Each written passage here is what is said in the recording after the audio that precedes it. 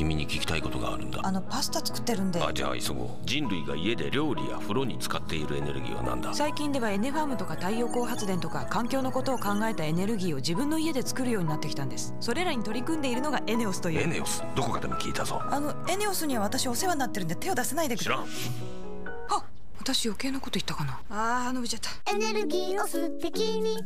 エネオス JX